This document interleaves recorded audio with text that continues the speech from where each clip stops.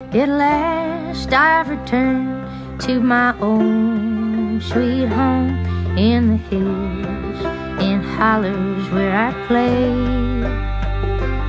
And my dear old friends I meet again